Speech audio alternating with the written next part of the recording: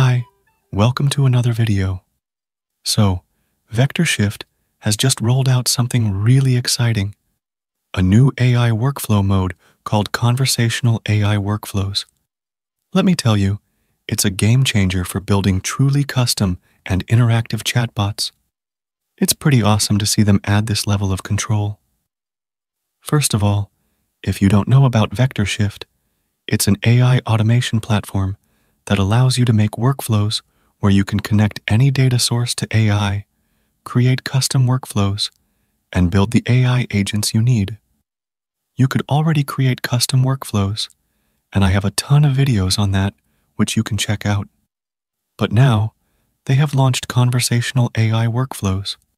Now, you're probably wondering how this is different from the standard pipelines. Well, the standard way is usually input to output, one straight shot.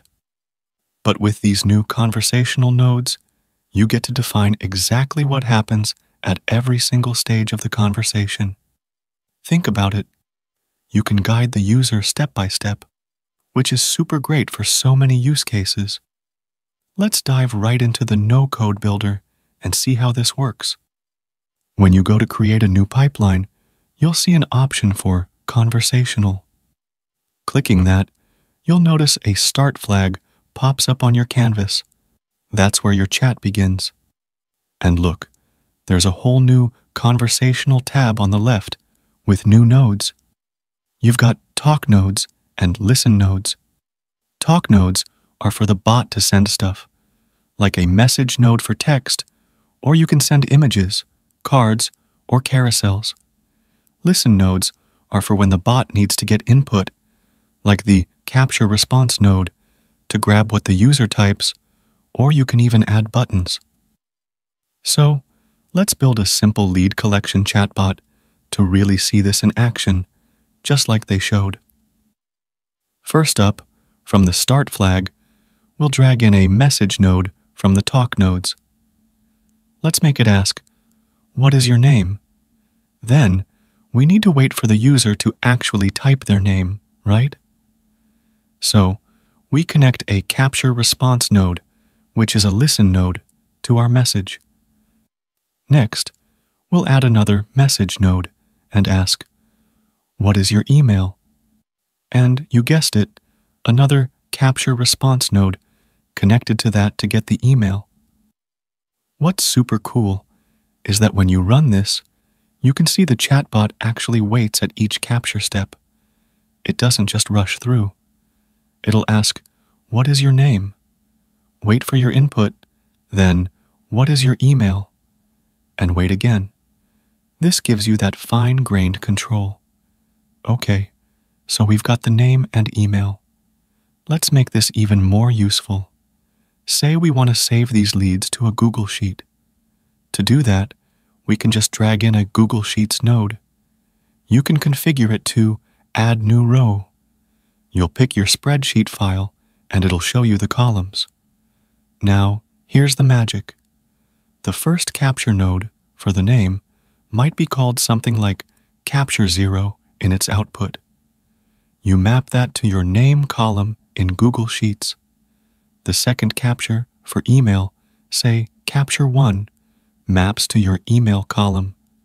Now, when the user provides their name and email after both are captured, the workflow will automatically add a new row to your Google Sheet with that info.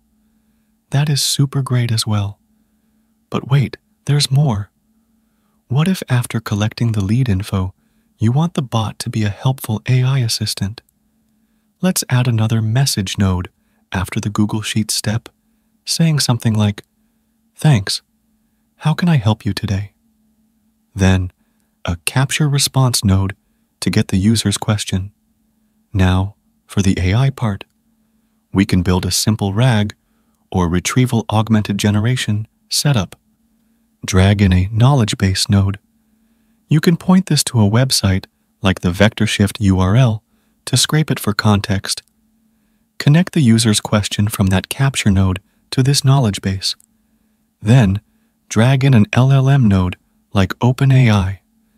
In the prompt, you tell it to answer the question based on the provided context. The question will come from that capture node, and the context will come from your knowledge base reader output. Finally, take the response from the LLM and send it back to the user with another message node. This is where it gets really powerful. You can have deterministic steps for lead collection and then seamlessly transition into an AI-powered Q&A. And you know what else is super cool?